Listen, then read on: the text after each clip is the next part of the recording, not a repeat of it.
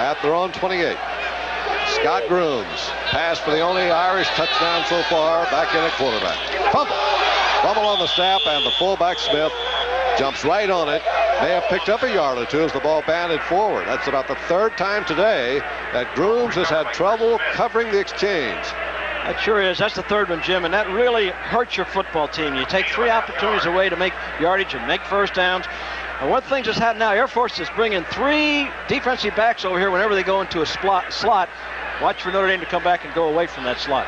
Most dangerous receiver, Jackson's to the right here. They fake on the play action. Here's Grooms. Grooms now going to have to run. Now he fakes and taken out of bounds. Across the 30, he's going to get a short gain out of the play, but nothing long. Air Force had three deep receivers covered. They've had both Jackson and Howard down, along with the tight end, Bavaro. So Notre Dame now faces a third down. Well, they were trying to do what the coaches normally refer to as a flood pattern.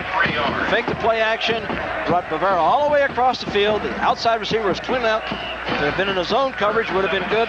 Air Force was in a man coverage, and everybody was, was going with a man for man. It's third down and uh, seven here for Notre Dame, just over their 31-yard line. Two wide receivers to left.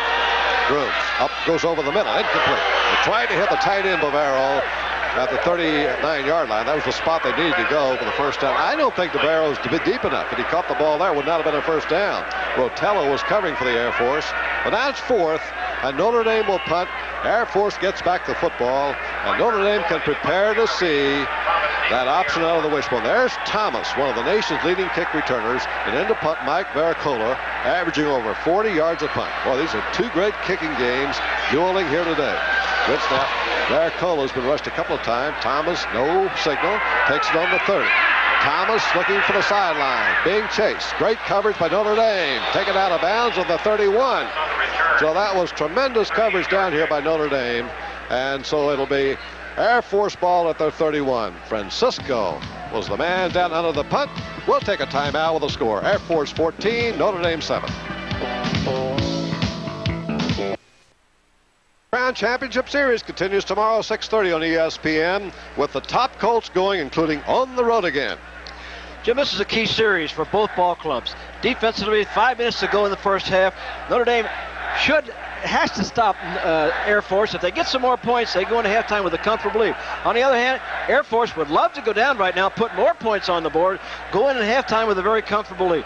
Well, this could be a, a key series in this entire ball game. Air Force uh, right now like to take some time off the clock. Five minutes to go in the half. Air Force leads 14-7.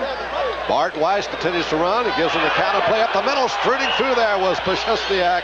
And he got a nice treat. No, it's going to be Simmons. Jody Simmons, number 25. Pat Ballard tripped him up. And so Air Force have been using that triple option play a lot. Now going to a lot of counters. And steps to his right, and then he comes back to his left and hands it in there. Now he's doing a lot of audible at the line of scrimmage. Notre Dame, Notre Dame is using uh, 50 defense, or they're making about three defensive fronts. He's audible into the front for the play that he wants against that front. Gain of nine, second and just one here for the Air Force at their 41-yard line.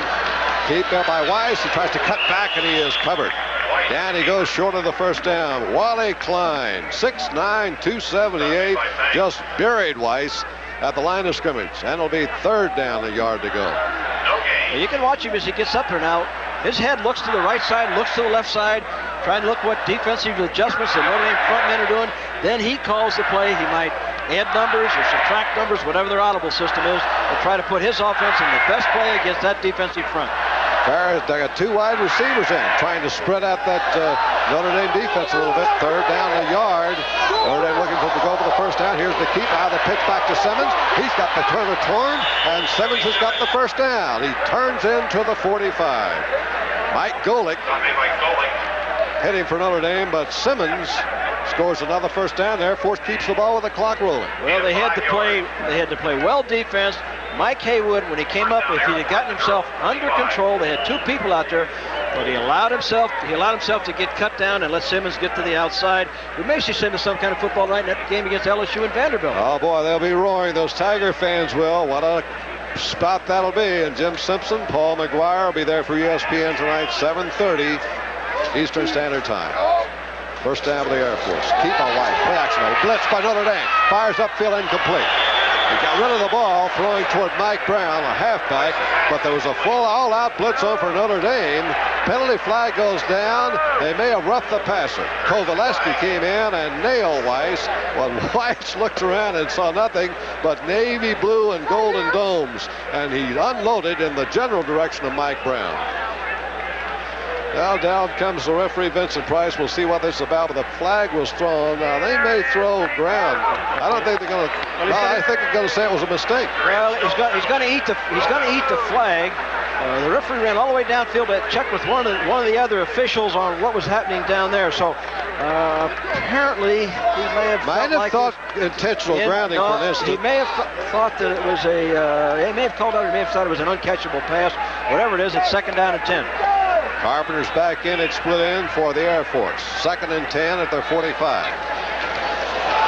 And Weiss has to keep it this time and duck up the middle. A little bit of a mishap there. Robert Banks for Notre Dame came in to hit Weiss, number four. Just a short gain, and here will be a key third down for Air Force with over three minutes on the clock.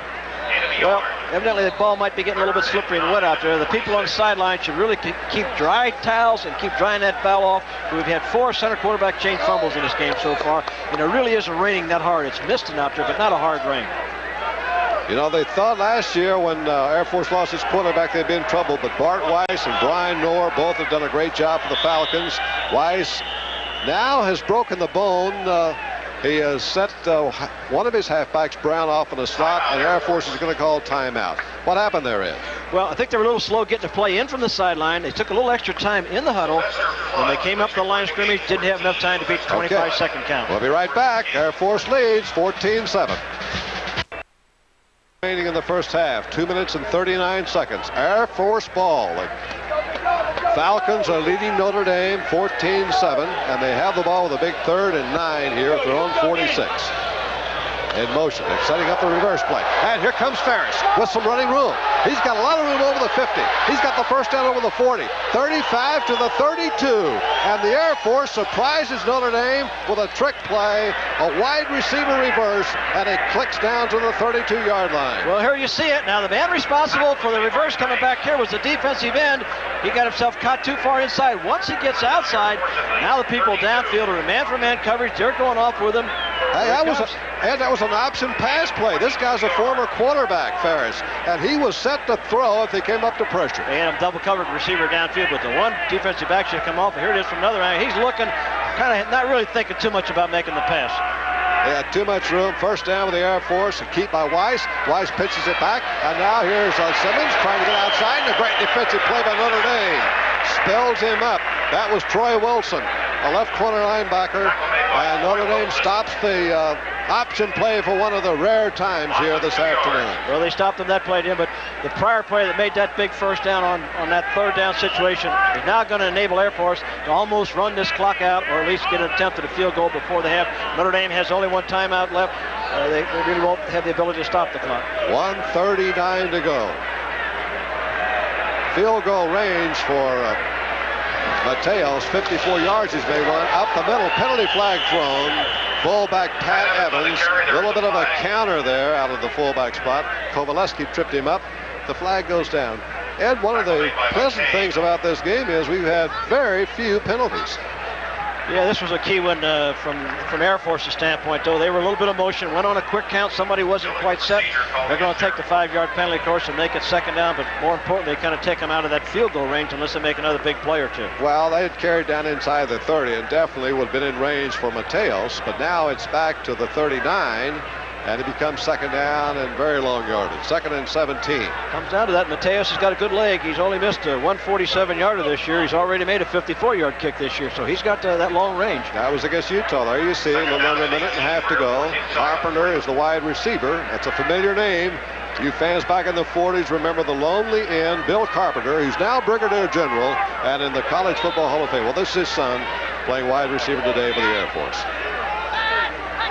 Second and long for the Air Force. Keep our Weiss. They go to the short side. They pitch it out to Brown. Not much running room over there. Kovaleski. Need more room than that to run that pitch option play. They went into the boundary. Well, they've been running to the wide side. This time they thought maybe Notre Dame would be overshipped. They came back into silent, but it also stopped the clock, which they really didn't particularly want to do at this stage. Get back those penalties. The Air Force had two, and Notre Dame's had one, so there hasn't been many penalties. Only three for the half. We just had one. There's Mike Brown, who's been the leading receiver for the Falcons. Also one of the leading rushers, but he's been out for two games with an injury. Simmons, Evans, and Brown the running backs. And Weiss, the quarterback, as Air Force faces a big third down play. They need to pick up here at least four or five yards to give Mateos a good shot at the field goal. And they give the fullback, and he's got some room. That is Pat Evans on a slant inside the 30-yard line. Doesn't get the first down, but He's going to give Mateos a better shot at the field goal. Stopped by Mo Matt uh, Mike Kovaleski. Here it well, is. You, you, see him coming down, handing the ball up to the fullback, just slips it in there. What are they thinking he's probably going to go outside. Didn't mind too much about giving up five or six yards in that situation now. Now this is a tough decision being made on that sideline right now. They're going to let the clock run all the way down. Notre Dame not not uh, using their last timeout. They're going to let it run all the way down and probably be about oh 28 seconds or so to go before they take that timeout, uh, which means that Notre Dame won't have any chance at all. 29 seconds to go. Air Force waited till two seconds was on the snap clock. And so the field goal count will be about 45 yards. We'll be back for that try by Mateos in just a moment. Any chance of a fake or surprise you're in? Well, he's doing an awful lot of fooling around out there with that leg, and usually that might be an indication. It'd be a good place for it. It's going to have to be a 45-yard kick. Uh, might be an excellent place to make that call if they have it in their report. All right, it'll be a 45-yard attempt from the near hash mark. Air Force tried to add to its lead of seven points. Now he kicks it away. I think it's going to be short. No good. Now he just barely missed. Did Mateos. So Notre Dame has time for two or three plays here. They'll take over the line of scrimmage, which was around the 30 or 28 yard line. So that was a nice attempt by Mateos. Practically no wind here was coming across Miss Wright. Coming up at halftime from Sports Center, Bruce Beck will have all the scores, highlights of other games today around the country. And then tonight at 7.30 here on ESPN, it's LSU and Vanderbilt in a showdown in the Southeastern Conference. Now Grooms has the Notre Dame offense back. Grooms going to go for it. Grooms plenty of time. Drills it over the middle. Knocked down, intended for Howard. Good coverage down there by Mike Chandler, an inside linebacker. And they're going to Joe Howard. Stops the clock with 19 seconds to go, so that play took only five seconds. Well, he's got a good strong arm. I'd like to see him go back in this situation and just throw one as long as he can. Let some of those speed, one of those speed guys go down there and see whether he can get underneath. You see Beuerlein giving the signals there now. He gives the formation, he gives the play, uh, he gives the, everything except the starting count. Air Force continues with a four-man rush. Now they're showing a five-man front. And there's a blitz away, and they get it off to fullback Smith. Smith on the left side gets up over the 35-yard line. That may run out the first half. We're down inside eight seconds, nine seconds, and time is called right there by uh, Notre Dame. So they want one more shot at it. The 35-second line, 35-yard line. That's the time remaining. Notre Dame. Fumble again by Grooms. Picked up by Pickett. Here comes Pickett trying to make something out of it outside the right, and he is thrown down. His time will run out here in the first half. Down, and there's the final second. And so the first half is over. And how'd you like this one, Ed? Well, I liked what the things that Air Force did. Uh, I get a little disappointed in, in Notre Dame's offense. They, have got to move the ball better than what, than what they have been doing. All right, we'll be coming back uh, shortly for the second half. And now Bruce Beck standing by with all the scores. The halftime score, Air Force 14, Notre Dame 7.